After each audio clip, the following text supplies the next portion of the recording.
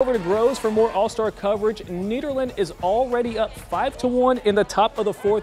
Groves trying to get something going after this Peyton Ortiz wild pitch. Ortiz will totally redeem himself, though, after this play at the plate. The defensive stops will continue for Nederland after Alexon Saltzman delivers his shot to short. Kel Brown will get the out, looking like Ozzie Smith. This brings us to the bottom of the fourth. Cohen Richardson with the liner to short. Nice snag, but that will go on to score two. Groves would actually make a comeback, but it won't be enough as Nederland advances to play Bridge City tomorrow night in Nederland.